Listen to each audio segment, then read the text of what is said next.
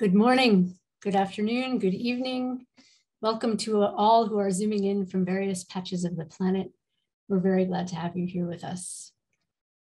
This conversation will occur simultaneously in English, French, and Spanish, so please select your language choice using the global icon at the bottom of your Zoom screen. If you prefer to hear the interpreters only without the speaker's voice in the background, please select mute original audio. I am Gillian Huebner, and I'm part of the Collaborative on Global Children's Issues at Georgetown University. As a collaborative, we don't do anything alone. We work with partners in research, policy, and practice to consider the complex issues affecting children worldwide. The Faith and the Family Forum is co-convened by Catholic Relief Services and in partnership with the Changing the Way We Care initiative, and co-created with a multi-stakeholder collaborative design team. Together, we will consider the phenomenon of preventable child-family separation, which is as old as time. Societal approaches to children at, list, at risk of losing parental care are largely informed by cultural beliefs and habits. Faith-based perspectives and responses are naturally a part of this story, and they always have been. Christian faith communities have responded to ch child family separation in various ways throughout history, contributing to both the propagation as well as the prevention of child family separation across time, and contexts. Over the course of the next year, we will reflect on the way Christian faith communities have interacted with vulnerable children and families. We'll look at the period of American slavery, the way the church has shown up with indigenous communities through the establishment of residential boarding schools, and the development and use of orphanages and institutional care worldwide, as well as in response to refugee and migrant movements. Our responses have varied over time. We have a history of harm and also of hope. Today, our conversation partners will explore the theological dimensions of child family separation. Indeed, the Christian faith begins with a vulnerable child born to a mother facing a series of threats. And ever since, Christian faith communities have interacted with children and families in precarious situations. So, during this conversation, we will consider whether there is a theology of the child within the Christian faith. How have the care and protection of children been understood within Catholic social teaching? How have these interpretations interacted with growing evidence about the effects of child family separation on the developmental outcomes across the life course and within the field of child rights. I'm grateful to Father Charles Chilufya for moderating the conversation. Father Charlie is the director of the Jesuit and Ecology Office of the, the Justice and Ecology Office at the Jesuit Conference of Africa and Madagascar. And he's also a member of this forum's collaborative design team. Father Charlie has been leading similar conversations about how the church has shown up for vulnerable children and families using indabas in communities throughout Africa. Father Charlie, thank you for bringing the spirit of the indaba here into this global webinar. I'm going to pass it over to you. Uh, thank you very much, uh, Gillian. Uh, we're looking forward to this uh, great conversation. Good evening, to everyone and welcome to this Georgetown University's webinar on the theology of children, which um, Gillian has ably introduced. Uh, I just want to add one or two things. Uh, Gillian spoke about some of the work that we have done since the Indaba uh, last year. Uh, since we are discussing it from a theological perspective, I just want to point out two important components of um, the theological framework. One key theological concept that can guide our response to preventable child family separation is the idea of the common good. Uh, the common good refers to the well-being of the whole community. So it's not just children that are being hurt, it's the entire society and community that is being hurt when children are hurt. Another theological concept that is relevant to preventable child family separation that we dealt with during our, web, our Indaba, our conference last year in Nairobi, is a pre preferential option for the poor. This concept which emphasizes our duty to prioritize the needs and concerns of the most vulnerable of our society, which includes children who are separated from their families due to preventable causes, um, among the most vulnerable members of our global community. And we have a moral obligation to ensure that their rights and needs are protected.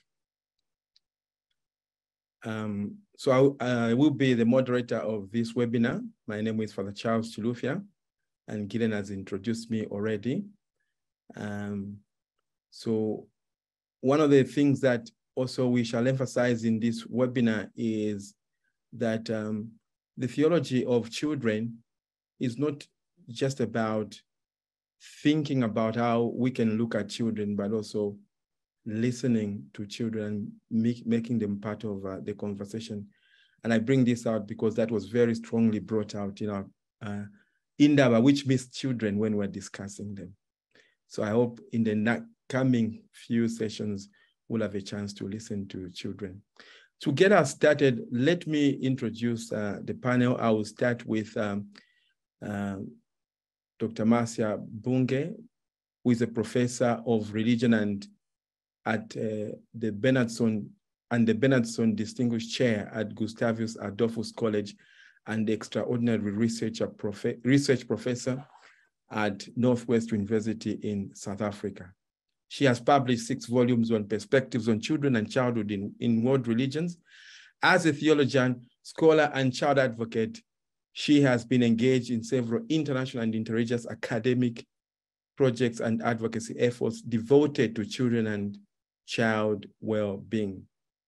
The professor has also published extensively on perspectives on children and childhood in world religions.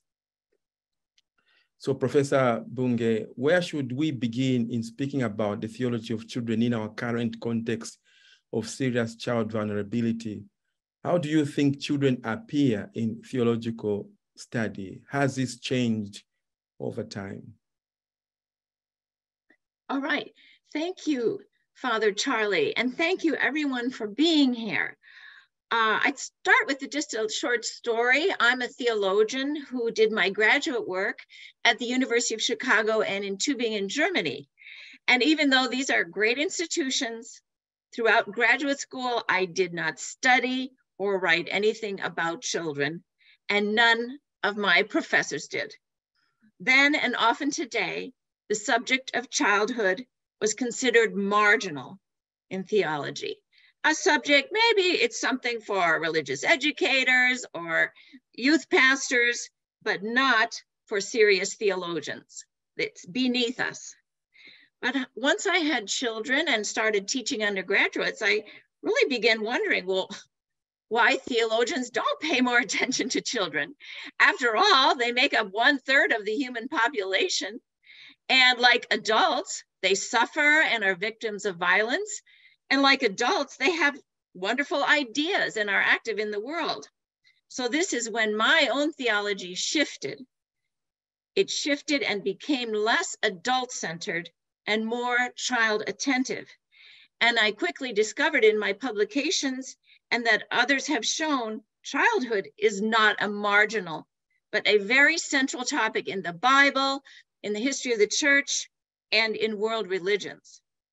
So now, even though many theological institutions in my country and maybe in yours consider children still as a marginal subject, it's very exciting and encouraging for me to tell you that more and more theologians, scholars, and faith leaders around the world and across disciplines, whether in biblical studies, history of the church, systematic theology, practical theology, or ethics, they are all becoming more child attentive.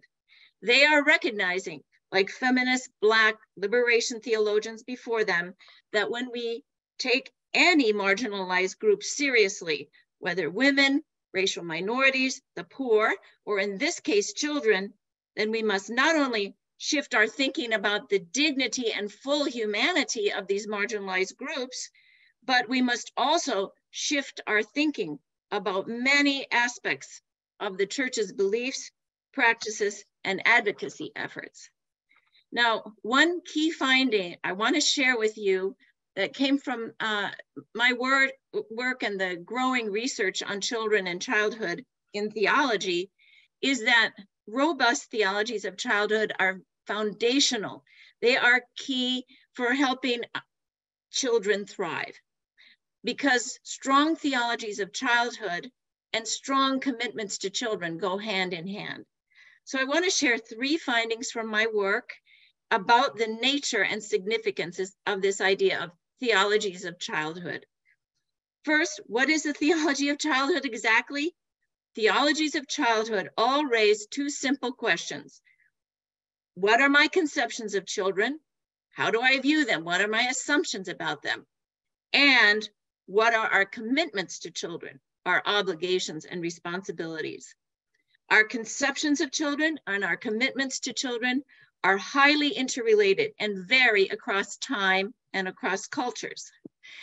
And secondly, as we look at the history of Christianity and at Christian communities today, we discovered different answers to these two foundational questions. And therefore, we find diverse theologies of childhood. There is no one theology of childhood, just as we find diverse theologies about women, racial minorities, or the poor, we find very diverse theologies and views about children in the church. Some are robust and life giving, but some, sadly to say, are very thin and destructive. And through my work, this is the third point, I found that although Christians in the past and today have sometimes viewed children in narrow and even destructive ways, the most life giving and robust theologies of childhood are multidimensional, and they all honor children's full humanity. So they incorporate a number of seemingly paradoxical biblical perspectives on children. They recognize children's strengths as well as their vulnerabilities, their need for guidance and protection, as well as their agency and positive contributions, their development needs and unique identities, as well as their dignity, equality, and integrity as full human persons. Such robust theologies of childhood that have multiple biblical perspectives remind us of children's full humanity. Robust theologies of childhood say more than children are vulnerable, they need protection, or they're developing and we need to teach them and guide them. Rather, robust theologies of childhood also incorporate other important biblical perspectives about children, such as children are made in the image of God. They are fully human and we need to treat them with dignity and respect. Or children are models of faith. We're not just models for them, they're models for us. They are models for us, they are spirit filled.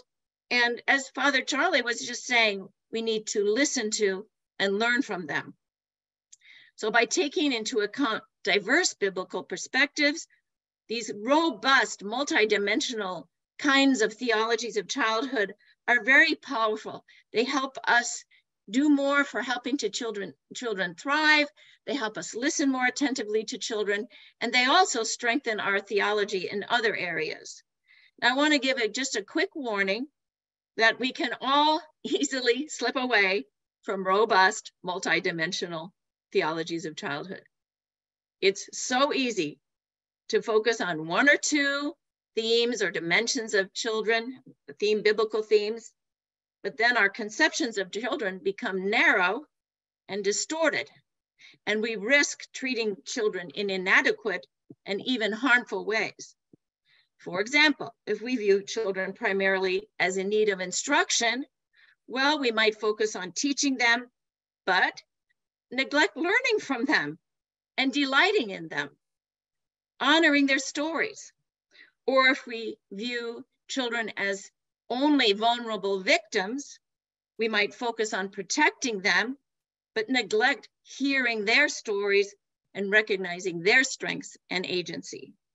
So, in, and as we all know, in any context, whether it's a church or a sports facility or a school, if we neglect to view children as fully human, if our vision of children becomes flat and one dimensional, then we might emphasize the needs and reputations of adults in our institutions.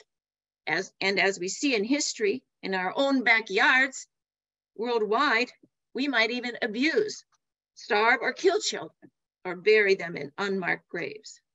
So we can think of a lot of other examples of the dangers of moving away from a full blown, full bodied, multi-dimensional view of children to these flat, one dimensional, adult centered forms of theology. So that's, in closing, I wanna just remind you of some things and ask, present a couple of questions here. Um, I wanna remind you that even if each of us here have not really thought intentionally about our own theologies of childhood, uh, we do all make assumptions about the nature of children and our obligations to them. So we all do, whether we want to recognize it or not, have working theologies of childhood. They might be strong, but they might also be very weak and thin.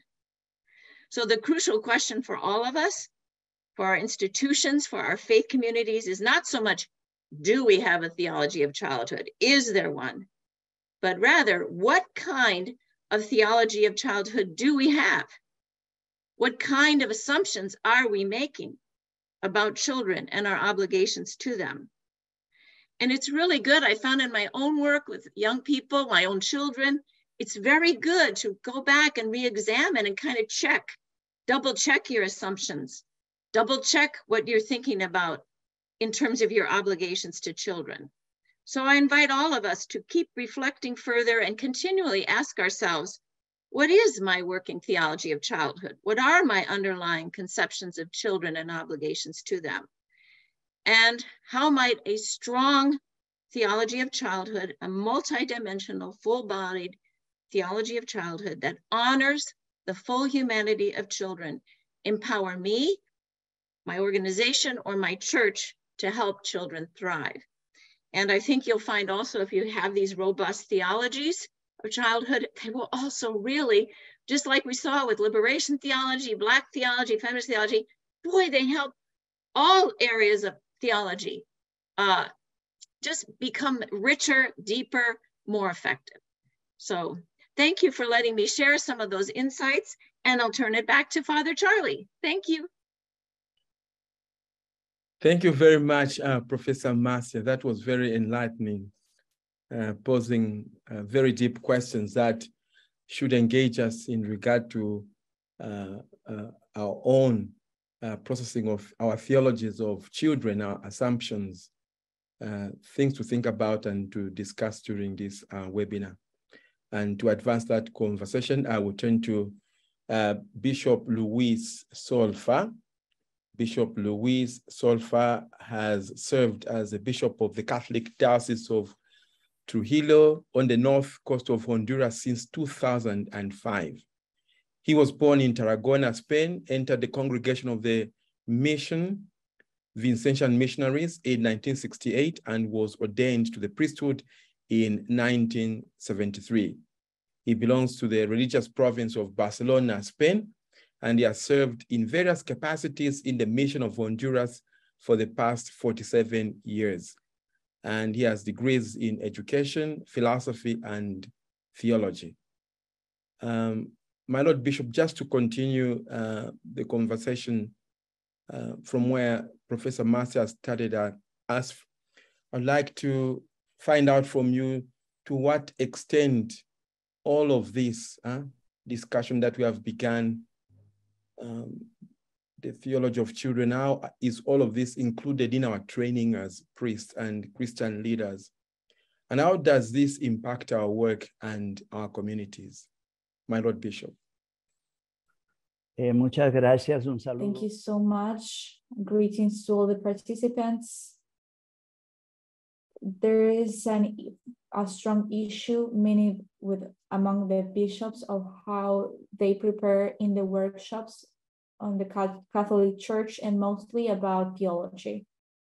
Maybe the uni, uh, Catholic universities, maybe another area more open, but regarding the workshops guided by the uh, training uh, in Rome, it's very closed the, the focus, the theological focus is close and exclusive, to put it in a way, regarding the theology for children. It follows the traditional dogmatic uh, theology. And what can we say regarding why, what you are asking and what uh, Professor Marcia was uh, sharing with us? I think that the consequence that the consequences are not very visible. The preachers come and work and give um, classes and help uh, the community grow, attending kids. But I think that we like we lack a vision of future for the same theology. The texts, for example, that they are founded our reflection regarding Jesus and children. Almost always I hear that the interpretation is that Jesus seeing children the innocence and and I have a hard time with that because etymologically the innocence is a word from the life from Latin that means in some way that it doesn't bother, it doesn't it doesn't have a like a consequence. And I think that I'm shocked with that because really what Jesus see in them, in the children, is they're a sign of the realm and they um, require things from us. And I really like a, a Colombian poet, I don't remember his name, but he questions that. You are a grown person, you are very formal, very serious, you know things. What do you want to be when you're a kid? That's a fabulous question. What do you want to be when you're a child? Because that's what Jesus asked for us to be children, to understand and to enter the realm. I think that we are very far uh, from that in our seminars and workshops and in many um, churches, that the child is an object of the of catechism. The relationship between, between God and the children is not deepened, is not worked on. And notice this, at least I think this. In a child, every teaching of uh, Jesus and the realm, we can say that Jesus see in the smallness in the child as a sign of greatness. He presents this as something small that grows. Jesus presents the weakness as a strength, and Saint Paul uh, could under, could understand that. If I'm weak, then I'm strong. And also in in the children, we see the simplicity. That's um, that's the contrary of double T. And that's why they grow like the seed that is uh, that becomes a tree.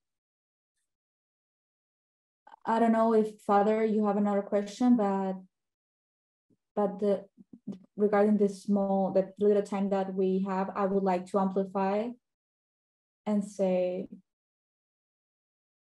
theology has to be a sister of psychology, pedagogy to understand when we say uh, maturity, we think of an apple, a pear, a fruit. The maturity in a fruit is when the fruit can reproduce. What's maturity in a children, in a child when they're in the third infancy? What's uh, the maturity in a teenager that it's about to become a youth. That's the capacity capacity to uh, be alive, to produce uh, love. Not taking care of this is really turning the children in an object of our interest. Sometimes I ask the parents, what do you prefer? That your child is obedient or your children to be good? And they answer, I want them to be obedient because that's the tranquility of the parents uh, uh, to a child to be obedient. More than to be good when actually jesus didn't ask us to how, how to be obedient to the father but they he asked he asked us to be uh, to respond to the father to be like him when uh, the family is broken and goes to a home, to a state institution, they're not going to value if they're a good child. They're going to value if they're a, an obedient good because they're more interested in being in seeing an obedient child rather than being a good child. What you were saying at the beginning, I think that's fabulous. The option for the poor is the option for the children, the option for the weak, for the ones that suffer in their families. And I think that we should uh, take that into account because otherwise that is not going to change in the community. Our challenge is uh, in the communities are the parents, the people, the families are going to open their heart to uh, reflection, a different ref reflection about uh, the relationship between, between God and a child. The children, the child was born from a mom, from a mom, from a mother, and she is going to be uh, there for the main developmental years. And then the church comes and says that the woman is not the one that can represent fully Christ and says that the, the Father is going to represent fully um, Christ. And that is uh, giving us a gap that is going to leave theology in a state of poverty and incompleteness. When the word was made man, it made it was made human. It that doesn't mean that God was made a man God is everything, mother, father, everything. And the children is very stick to the mother. And then in church, they hear that God is father. And we heard that since uh, always Freud said that uh, God is father, and we cannot, in we can we cannot say that religion is a, a theological projection of the father. There's a great poverty in the Catholic introduction when the when we don't help the children to have a wide uh, view of the parents regarding God. That's why the relationship with between God and the children it's our main challenge of our theology. And you are filling that void, and I'm really happy. And I wish you to be working with us. Thank you, Father Charles. Thank you very much, uh, Bishop. That was very, very loaded, and I'm sure she'll have a time to some time to um, speak to that and even see how that plays out in uh, our communities. And that's what Sister Nuala Patricia Kenny, who's going to speak, will sort of help us to do, to show us how all of this uh, foregoing conversation uh, play out in, in communities. Before she speaks, let me introduce to, uh, uh, to the uh, community here. Sister Nuala is a professor emerita at Dalhousie University. She entered the Sisters of Charity of Halifax in 1962 and received postgraduate training in pediatrics at Dalhousie and Tufts Medical Center. Sister Kenny has received seven honorary doctorates for her work in child health, medical education, and health policy. Her research focuses on clergy abuse, pandemic ethics, the renewal of public health, and Pope Francis's call to synodality. Sister Kenny, how are children harmed when Christian faith communities do not center children's unique needs, vulnerabilities, and gifts? And also, maybe you could also pay attention to some of the things that the bishop has raised. What does all of this mean for us as a Christian and faith uh, community or Christian and faith communities. Go ahead. Thanks, Father Charlie. I, I first I want to say thank you to everybody who has participated thus far. I think it is amazing and something to be grateful for uh, that in fact Georgetown has this intentional focus on children and their vulnerability, but their protection and their moral development and their development of resilience to true, fully, fully um, developed humans. Um, so let me let me say this because because so many things that were said interact with the three or four major comments I want to make. I'm a sister of charity, a woman who's a pediatrician. My whole life has dealt with children who are hospitalized, seriously ill, dying, and abused. In that experience, I have come to have the most amazing learning and humbling experience in recognizing the deep spiritual life of children and recognizing ways in which that spiritual life of children as children is unique, that their ways of knowing as children are unique. Uh, and, and so having done that, the issue of vulnerability has become for me uh, a particular focus of my commitment.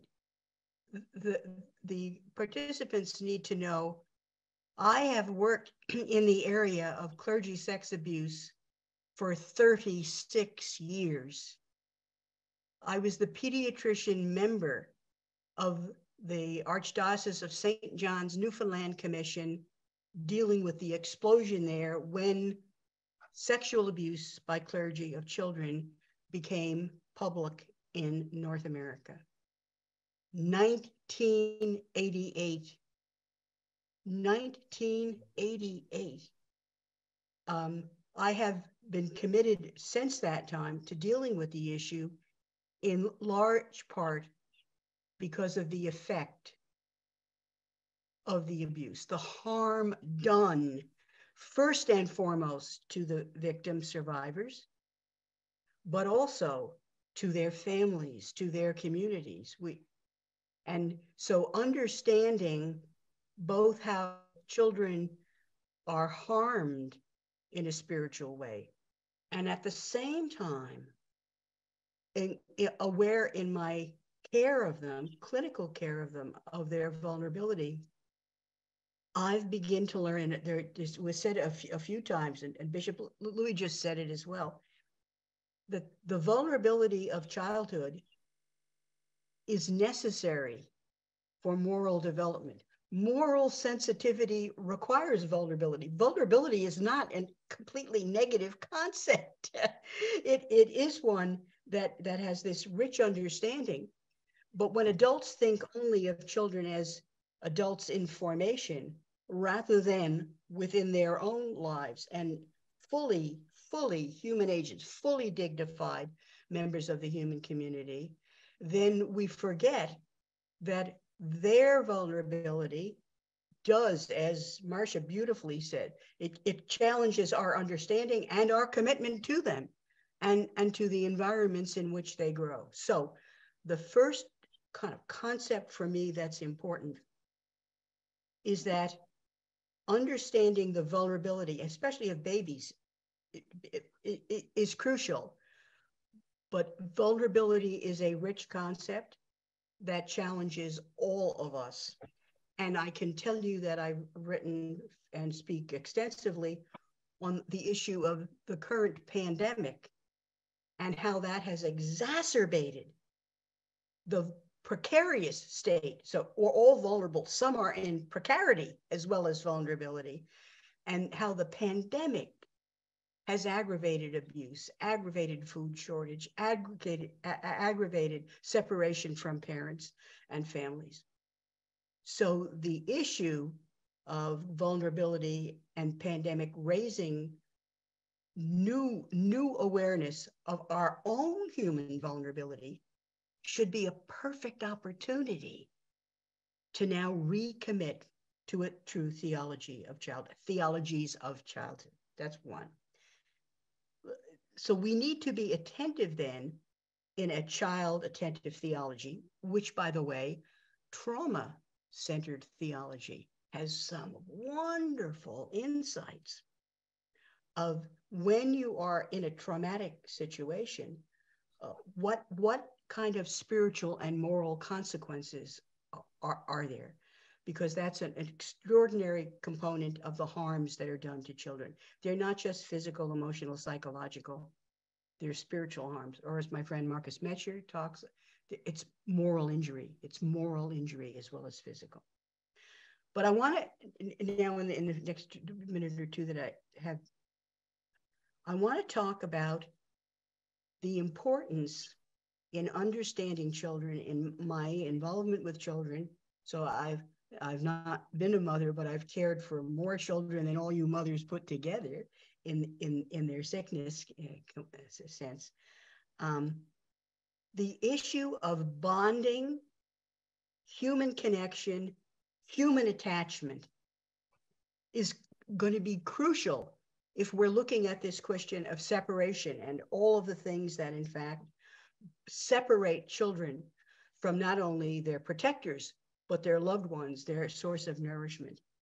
Because childhood studies now have done something very, very new in the last 15 to 20 years they've moved beyond psychological understandings of children as only adults in development, not worthy of attention until they get to adult status and adult moral reasoning, to understand the importance of bonding, attachment, and connection. So let me say this to you. I have been in the delivery room, not only delivering babies in my training, but as a pediatrician called to disasters in the delivery room the significance of the fact that the newborn baby has to be physically cut from connection to the mother should give us insight into how important connection is. The second thing that happens, the newborn baby laid on a mother's breast has this incredibly intense vision that is the beginning of maternal infant bonding it's a, an attachment and a connection that's heightened in the first three or four days of life. It will recede. And then the rest of child development is forming attachment again. It's establishing, it's learning how, it's learning how to interact with others. So that psychological medical information combined with, as Father Charlie said, Catholic social teaching about the common good, so, which raises now the environment for interaction with children to the larger community of a whole, raises this question. Think in pandemic of the little babies who never see the smile. All they saw was the mask. When the importance of interacting, look, anybody, you go to talk to a child, you do this, hi, how you doing? We do that because the children, in fact, before verbal skills, interact with us through our body and, and our entire communication. So all of those learnings are now challenging us to have a deeper understanding of the spiritual life of children, the importance of connections, and the importance then of considering all of those ways in which our practices, whether it's death of parents, whether it's the incarceration of parents, whether it's uh, military employment of parents, whether it's migration. the number, I had a, a, a, talk I do on the effects of COVID on the health and well-being of children. The number of COVID orphans worldwide has doubled. I mean, because their, their parents died in the first waves of COVID, and their grandparents who are elderly and who are more at risk, as I am, though uh, I'm, I'm, I'm safe here in North America. So what I would say as I conclude is I have learned so much from children. Uh, I, I hate that in my retirement residence, we don't have little babies and kids around all the time because the grandparents will tell you they keep you attentive to what Jesus knew when he says you got to become like one of these. Remember, he came to us in the first place as a baby. A child is born to us. And I think we now have to work carefully on these theologies, not only to properly respect and give them due dignity, but to promote resilience to adverse effects because we have yet to see the negative consequences in the spiritual and moral, emotional development of children and youth from this pandemic, much less child abuse and other harms. Thank you. Thank you very much, uh, Sister Kenny. Uh, you've raised some very important points there, highlighting some of the uh, key concepts, uh, which may not necessarily come from theology, but would be useful to engaging theology, just as um, uh, the bishop mentioned there that theology must be multidisciplinary, including the theology of children must be interdisciplinary. And you've um, highlighted the concept of vulnerability, uh, uh, both in the physical sense, spiritual sense, um, uh, as well as the fact that children have been hurt, uh, they've been traumatized. You know, uh, those are concepts that are rich in psychology, but could be useful in helping us articulate uh, that kind of theology. Um, another one that touched me is you read the question of the, all of this, the vulnerability, the trauma experienced by children, everything that hurts them should attract us to care uh, for the children. And this prepares us then to uh, call upon uh, uh, uh Father Jean Messinge, uh, who is a Jesuit priest with a doctorate in clinical psychology and a master's degree in mental health counseling, working in a theologate. He is professor, a professor at the Jesuit Institute of Theology in Abidjan, Cote d'Ivoire.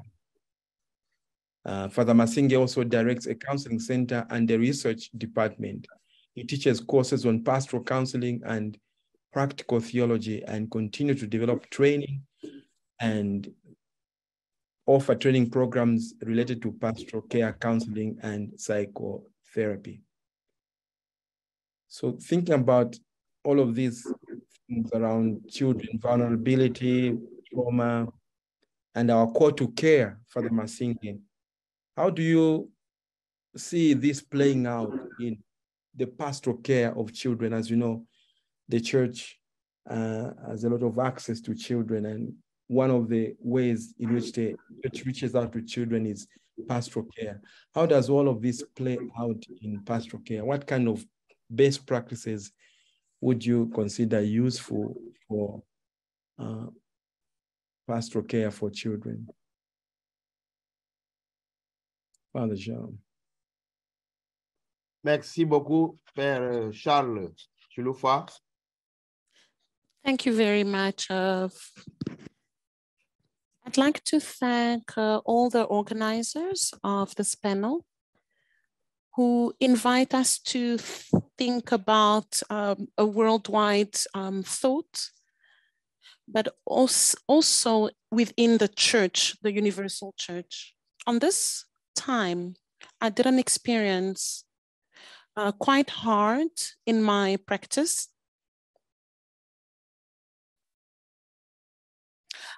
I am currently giving psychotherapy help to three ladies, three, um, two are sisters, one is 23 and one is 21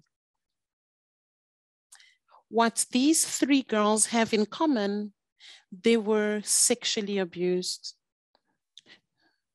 during many years in their lives by their father. Two sisters. Their mothers have divorced because of uh, causes of violence. And the father was able to keep the children. And these children were sexually destroyed during many, many years. The two mothers of these girls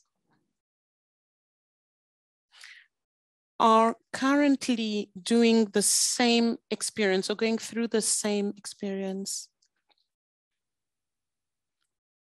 The husbands of these ladies also have gone to the police and they live the same thing that their mom did. And so the whole family the whole family is angry with these girls because they went to put a claim or to report their husbands with the court. Um, they have been accused of exposing the family. They've been accused of destroying the family. This is the paradox of the world that we live in. We have family that we value. We want to protect family but we're not able to recognize that the child is also family. The child is considered like a person that's easily sacrificed in order to protect the big family. But we also know that the future of the family is found in children.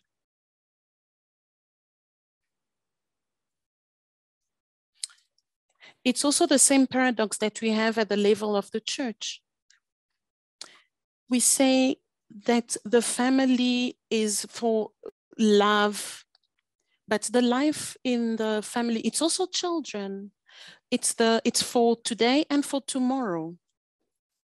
But at the same time, we have tendencies of wanting to sacrifice the child in the intention to protect the church. This is the context and the paradox in which we find ourselves. So it means that, in my opinion, and also in relation to what's been spoken about um, today, the, the answer here is what the Pope has always repeated It's an imperative of conversion, theological, institutional, structural. Without that conversion, it will be difficult because the child, whether we want it or not, in our practices, in what we speak about, has been put marginalized, has been put on the side.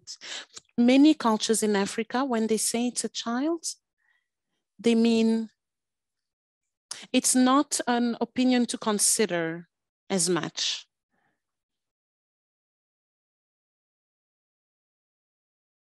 So this, all these debates need to change.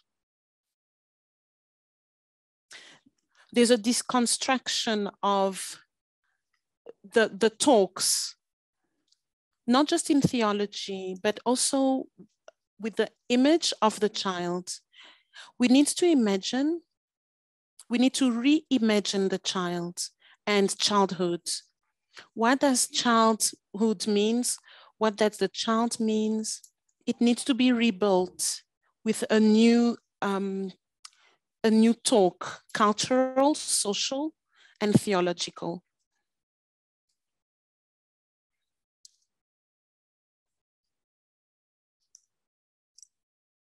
And this will promote uh, conversations like the ones we're having right now.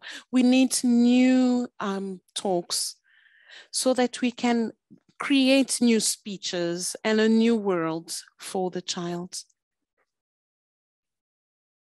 so that the child can be respected within its difference.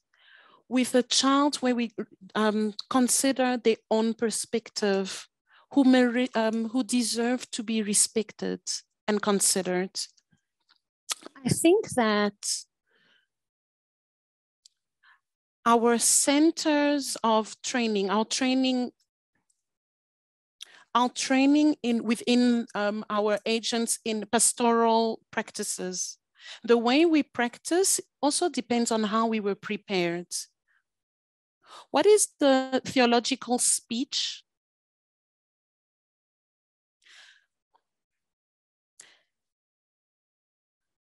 What is the theology that dominates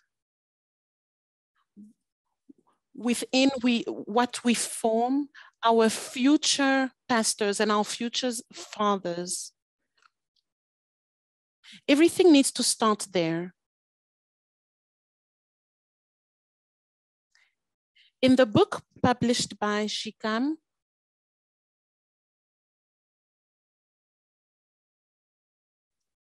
I published an article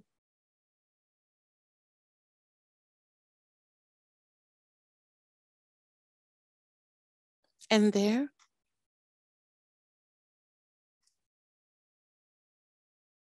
to suggest the project of conversion theological and also just for the seminars what i mean by that the pastors and the leaders of church i spoke about three paradigms. To rebuild a new theology with a different dynamic. The first one is empathy the second one is vulnerability and the third paradigm is responsibility um, re, re, uh, re, of relations. I think that new speeches must have paradigm. Need we need to have a new field theological field so that we can have uh, new um, leaders that have more sensitivities towards life, especially people that are vulnerable, like children. I spoke about empathy.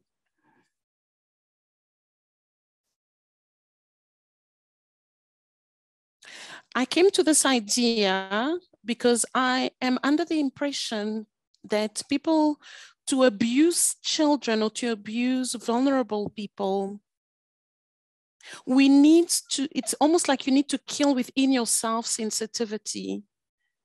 A person that lives with empathy does will always feel weak so it will be hard to torture a small child. And so I believe that our theological education needs to be re, rebuilt under empathy so that all the pastors and fathers they will be marked with empathy in the way they do things. Empathy empathy makes you weak to help you do bad towards other people. So those people that do bad lack empathy. There needs to be vulnerability. So here there's two distinguished um, in this vulnerability as um, divine mark and vulnerability that has been created by the human hand. There is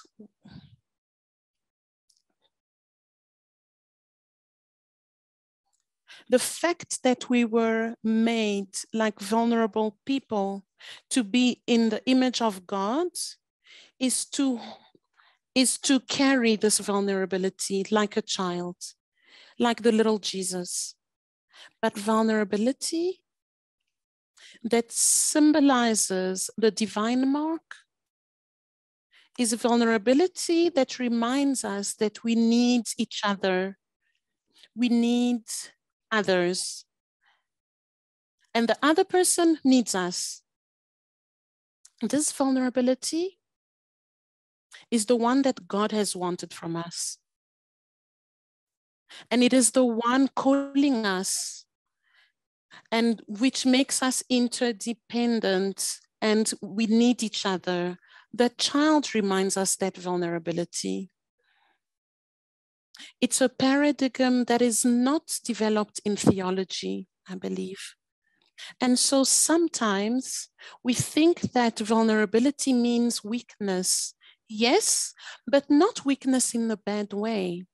No, just weak in the fact that you need the other Just like we also need God, we need loves God.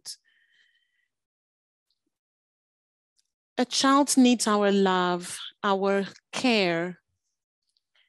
There is vulnerability that is used by the human hand.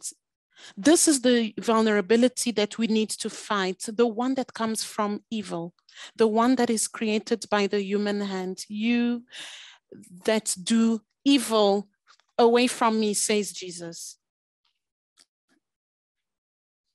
We all need to be responsible of the new society, of the new world that we want to create, and the place that we want to put that child, a central area.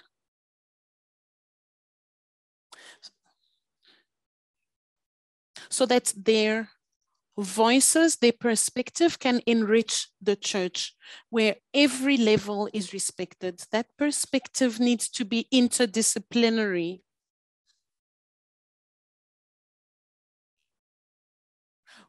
We need psychologists that will help us understand children. We need sociologists that will help us.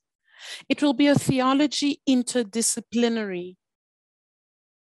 And from that, those that are um, come out of this theology, if they do it in a perspective of form, formation, not just theory, but a theology that becomes spirituality that transforms our lives, our vision, and our lives together.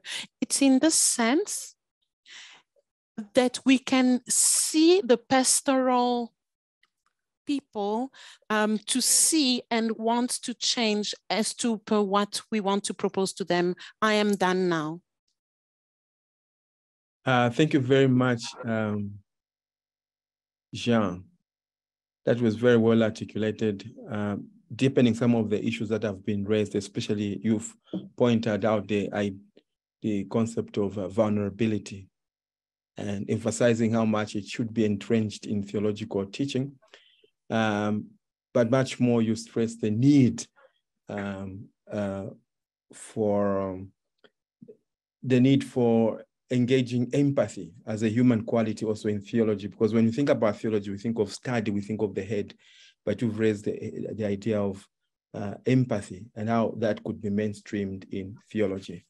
Maybe as we begin to conclude, um, I'll call upon you, Marcia.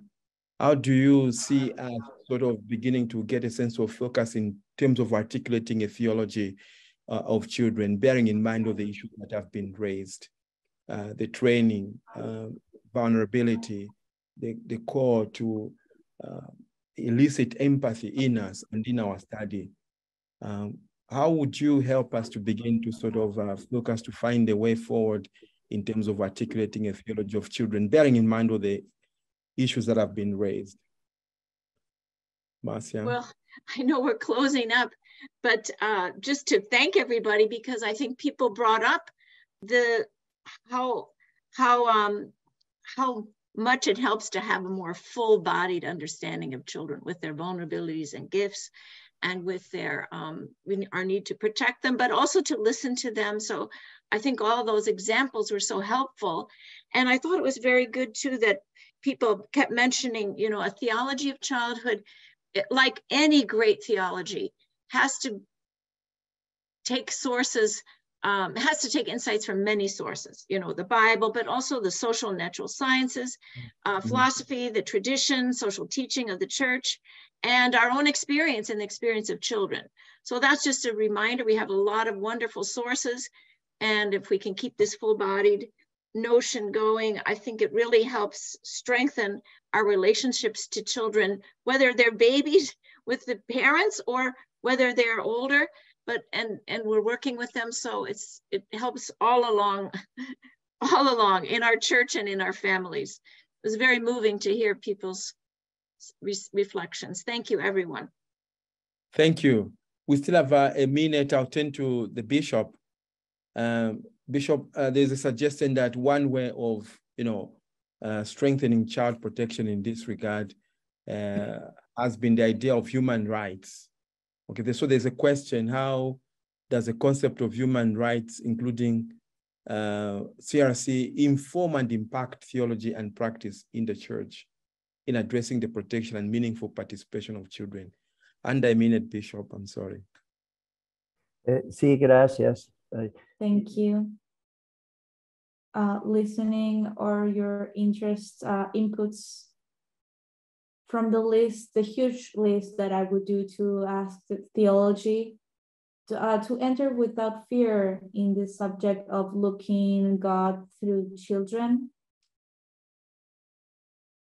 I think that one of the most difficult issues is evil. When I hear the interpretation of the passage of the um, killing of the Saint Innocent, sometimes I'm disgusted because uh, they pretend to say that the children who died because of the soldiers were martyrs. They were not martyrs. They were not defending the people. They were victims of war that the Catholic Catholic theology doesn't want to deepen and bear to see. And vulnerability that we talked about, I think is a demand that vulnerability is doing, the suffering of children for the theology to be more serious. And second, family.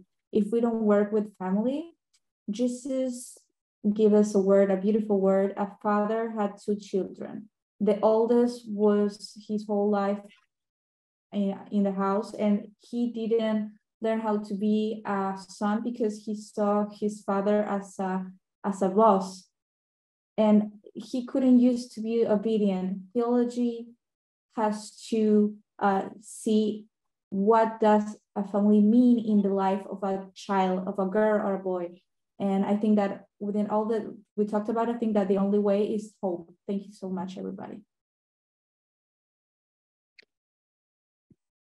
Uh, thank you very much, uh, Bishop Louis, and I think he has helped us to uh, sort of begin to conclude our conversation with his emphasis on family. Uh, there are several places we can engage topics like nurturing, uh, empathy, uh, childhood, growth and all of these those things, but the context of family, uh, which is the focus of uh, this this webinar series, is one of the best places to think about in terms of advancing uh, both theology and practice of uh, uh, child protection. I would like to thank you all for having tuned in to listen in. And I'm sure this is only the beginning of a great conversation that we're going to take forward that will help us together to articulate a theology of children for the benefit of children, for their protection, but also for the common good, as we have mentioned, is for the good of uh, our community, our society. Thank you to you all, and God bless.